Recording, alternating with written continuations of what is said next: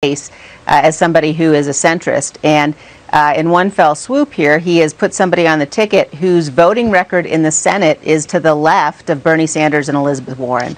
So I think that you know the American people are going to look at the substance of this. They're going to look at what she stood for in the past. They're going to look at what she she said during uh, the primary election, uh, and it's very clear she is uh, a radical liberal. She's somebody that uh, has said we ought to spend 32 trillion dollars on Medicare for all.